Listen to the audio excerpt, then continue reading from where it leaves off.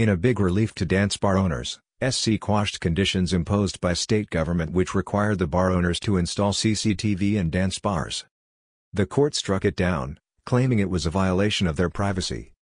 The court said that since 2005 not a single dance bar has been registered and it felt that the licensing conditions imposed by the state under Maharashtra prohibition of obscene dance in hotels, restaurants and bar rooms and protection of dignity of women working there in Act 2016 should not be such that there is total prohibition.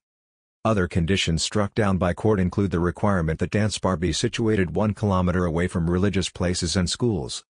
The court said this condition cannot be reasonable in a place like Mumbai. Further, restrictions on serving of alcohol in partition separating bar room was also struck down by court.